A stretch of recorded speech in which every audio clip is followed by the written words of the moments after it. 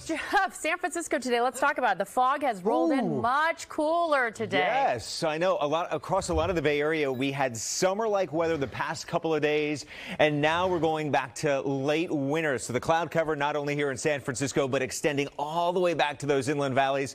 So if you're headed out to Thrive City tonight, you just want to catch some of the action. Maybe you don't have tickets.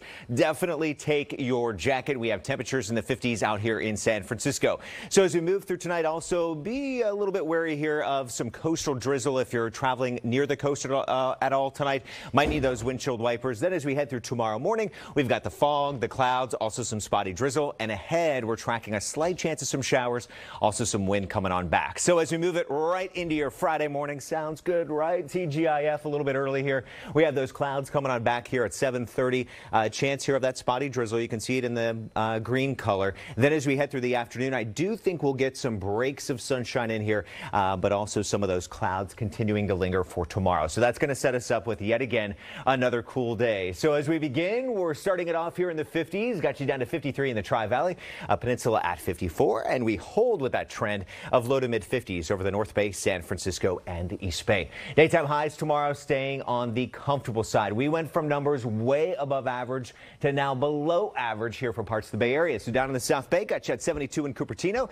76 in East San Jose. Let's move it over to the East Bay. No more 100s. You are down to 75 in Livermore, 73 Walnut Creek, over to Oakland, 65. And you're going to feel that chill again through the peninsula, 67 in San Mateo and 70 in Redwood City. San Francisco, we have 50s and 60s across the board.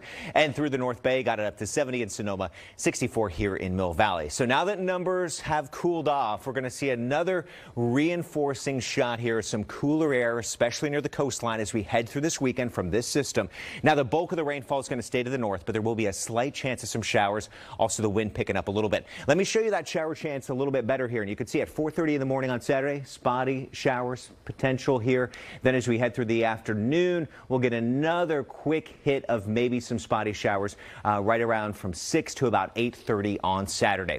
So you'll see on that seven-day forecast, slight chance of a shower Saturday. Wind picks up on Sunday, 15 to about 35 miles per hour. And it does look dry with some sunshine there on Memorial Day with 60s in San Francisco. Inland Valley temperatures, don't worry, no 100s coming back the next couple of days. We're in the 70s all the way through Sunday. We get into some 80s next week, but thankfully not nearly as hot as it was this week. So I think it's perfect weather as we head through tomorrow. It was kind of crazy. Uh, today I actually had to pull out the jacket this morning. Yesterday I had flip-flops on. Yeah, I know. It's uh, I still have flip-flops on.